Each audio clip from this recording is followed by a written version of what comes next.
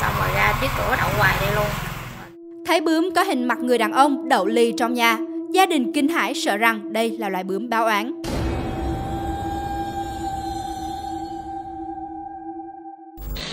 Đang ở trong phòng, gia đình này bỗng thấy một vị khách không mời bay đến và nhanh chóng đậu lên tường.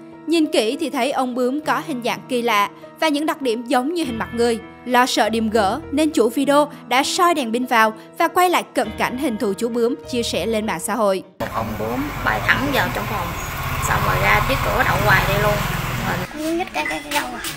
nhất trên cái cái mão á mão đội trên nè Con bướm khá to, đậu lì một chỗ rất lâu. Toàn thân màu nâu sậm, bộ cánh vảy lớn dang rộng. Trên cánh có nhiều đường vân xếp chồng. Hai đốm tròn đen chẳng khác nào hai con mắt đang nhìn chăm chăm về phía camera và có cả chiếc râu bạc khá dài.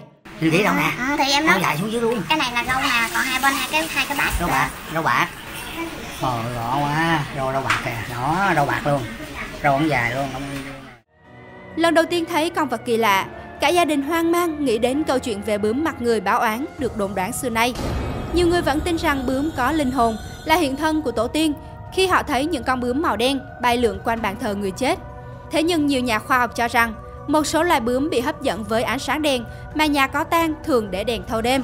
Một số loài khác thì lại bị hấp dẫn bởi mùi phấn hoa có trong đám ma. Nhiều người không tin vào tâm linh thì lại nghĩ, có thể do môi trường ô nhiễm nên mới có bướm biến dị như vậy. Còn những khán giả của tin việc độc lạ thì nghĩ như thế nào?